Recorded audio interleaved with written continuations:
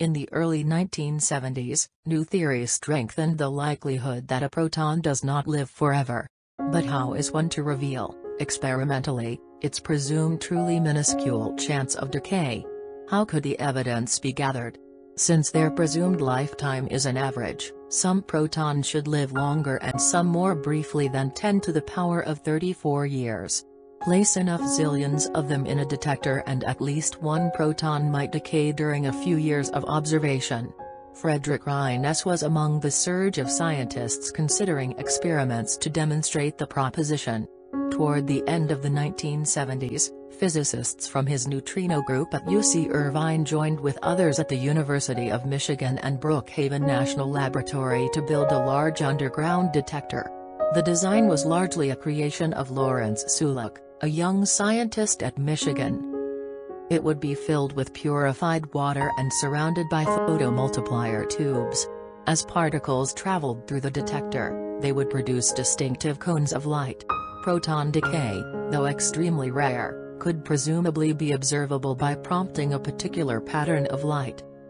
IMB, the Irvine Michigan Brookhaven detector, was a nucleon decay experiment and neutrino observatory located in a Morton Salt Company's Fairport mine on the shore of Lake Erie in the United States 600 meters underground. It was a joint venture of the University of California, Irvine, the University of Michigan, and the Brookhaven National Laboratory. Like several other particle detectors, it was built primarily with the goal of observing the proton decay, but it achieved greater fame through neutrino observation, particularly those from supernova SN 1987A.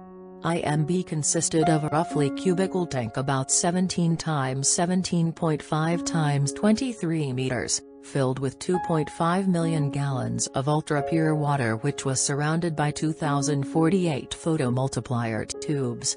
IMB detected fast-moving particles such as those produced by proton decay or neutrino interactions by picking up the Cherenkov radiation generated when such a particle moves faster than the speed of light in water. Since directional information was available from the phototubes, IMB was able to estimate the initial direction of neutrinos. Ground was broken at the salt mine in 1979, the water tank for the detector itself was finished in 1981. By the end of summer 1982 the detector was operating at full capacity. The first results were published in 1982. This volume of water contains on the order of 10 to the power of 31 protons. In one year of observation no proton decay event was recorded.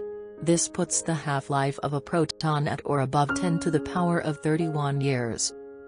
In 1987, it gained fame for detecting 8 of the roughly 10 to the power of 58 neutrinos emitted by supernova 1987A.